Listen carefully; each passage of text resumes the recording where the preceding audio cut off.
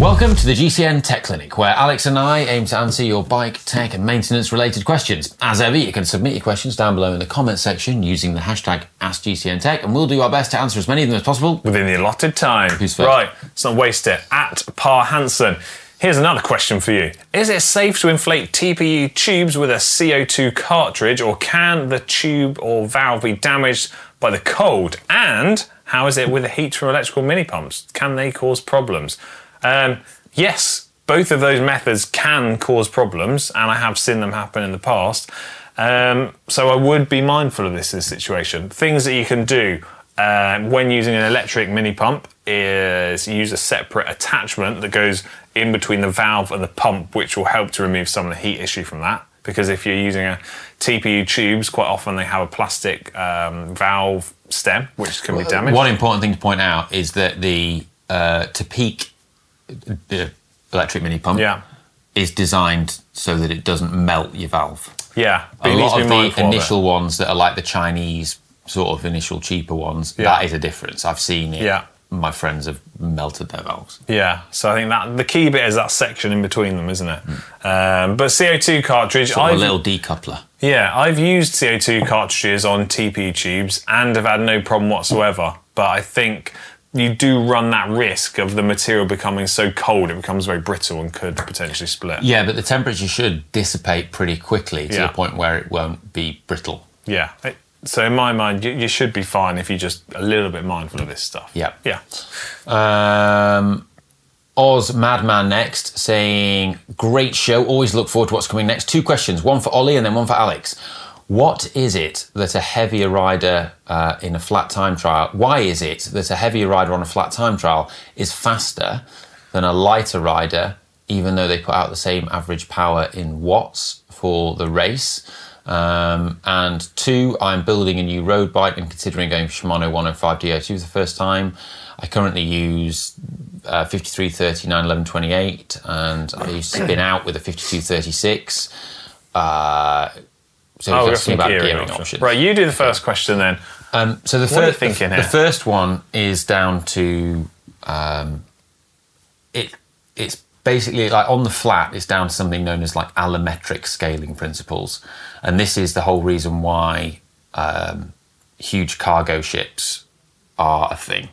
So if you think about a cargo ship, it's got huge volume cargo capacity, but the front end stays quite small. So relative to how much power they're able to produce, like larger riders are better at time trialing usually because although their um, volume of their size is increasing, like as a cubed function, Yeah. their frontal area doesn't increase as a cubed function. So Okay. you, you you increase in volume, but your frontal area, which is the most important thing when you're taking considering aerodynamics, uh, doesn't increase at the same scaling factor. All right, makes sense to me. I'll go with that. And then in terms of this gear uh, gearing options here, they're saying about uh, will uh, modern 105 Di2 accept 5339 chain rings and an 11 to 28 cassette? Um, yes, it will. You just have to adjust the front derailleur for it and account for that in the Shimano eTube app to tell it what gear ratios you're using. But I, I would say if you're going to use 5339 chain rings, I would probably consider running the 30 cassette or maybe even the 34, just so you've got that wider wider range of gears, especially on 12 speed because it means the jumps between the gears are closer anyway. Um, so your chain ring options, yes. 1128, yes, but I would probably opt for the bigger cassette. Nice. There you go. Um, shall I go for this one? Ne- next question. Nick Wakeford says, say- "Qu- question for me. Oh yeah, I'll read it out. It's for you then. Um, what is better for fuel economy? Bikes on the roof rack with them facing forwards, i.e., their most aerodynamic position, or on a tow bar and rear rack, but being sideward, probably least aerodynamic for the bike. Current system is roof racks with two bikes adds about 30 to 35% more fuel usage.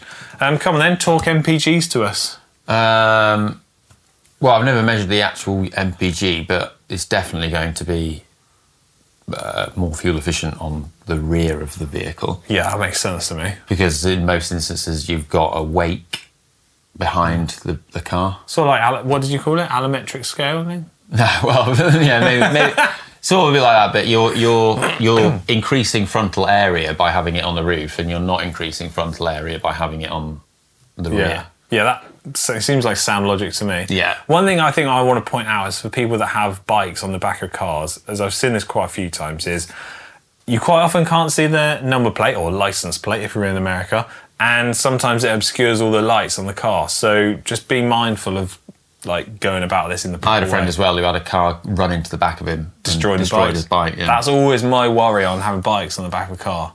yeah, I mean, the most fuel efficient way is put them on the inside. yeah, uh, yeah. It's still going to be less fuel efficient than having them on the inside. Yeah. Yeah. Next question. so, McLovin from Oz. Brilliant name. Good day, guys. Just to reaffirm his Australian. his location. Yeah. Um, with a greeting like that, there's no need to guess which country I'm from. Just further doubling down there. Great. Uh, resubmitting my question. I'm running Shimano 105 12 speed and had to change batteries in the hoods. Easy job, even for an idiot like me. I've run into a minor problem. The gears change as they should, but the battery check lights on the hoods aren't working. What have I done wrong? Thanks in advance. Oh, I can't say I've ever heard of this.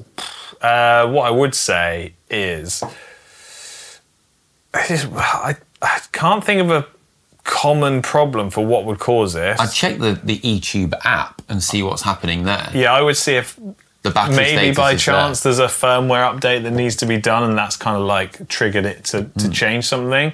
You, hopefully you can see the battery status in the app. But I can't say I've ever had this problem. So if anyone in the comments has, I mean, get involved and, and share your thoughts if you've got a solution to this. Yeah. Uh, help us all out.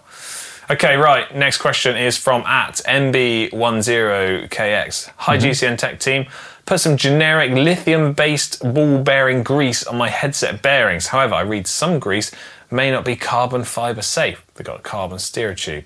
Some say this is a myth. Can I keep using like grease or do I need to clean it out and get a carbon fiber specific one? Um, so I have heard um, in the past, people mentioned that I think petroleum based greases could potentially cause some sort of not I don't want to say damage, but could change the chemical chemical composition of the epoxy in a certain way to soften it. I don't know if that's actually a case, but I have heard someone mention it before. So what I would probably suggest is if you're concerned in any way about that, would be to clean it all out and use a, a bike specific product um, because it's been checked and it's good to use on bikes. Yeah, generally, like lithium greases are, generally fine. Yeah, but there you go. Um, in terms of the talking about get, oops, a fly on my nose. How did that get in here? Um, in terms in terms of using carbon specific grease, well, it's more a case of the carbon grease has got little fibres in it to help the carbon parts not slip against each other, isn't it? Uh, yeah. Okay. Well, that's yeah, assembly paste. Yeah, that's what I was thinking. Right, over to you for the next question. Uh, Alberto says, "Hi guys, big thumbs up for your channel. Is it possible to use an aluminium seat post on a carbon fibre frame? Is there a risk of damaging the frame or anything to consider, such as the minimum insertion length?" I don't see there being any issue here. Do you? Uh, no, just that uh, I'd probably use like an assembly paste on there. Yeah, hundred percent. And the, in terms of the minimum insertion length, it's going to be the same as, as what's on the seat post, regardless of the material it's made from. Yeah. Yeah, just don't exceed that limit. and also you can they can be you can it's i mean you do it the opposite way around often you'll put a carbon seat post in an aluminium frame or something but Yeah. you can get galvanic corrosion so Okay. try to avoid prolonged immersion in salty liquids There you go. um, but yeah Okay. Um, that was our last question of this week's GCN Tech Clinic. I say every single week. If we didn't answer your question, well, I'm really sorry, but be persistent. Put it in the comments section down below, and we'll get to it in the coming weeks. Yeah. Right. See you Love you. later. Bye.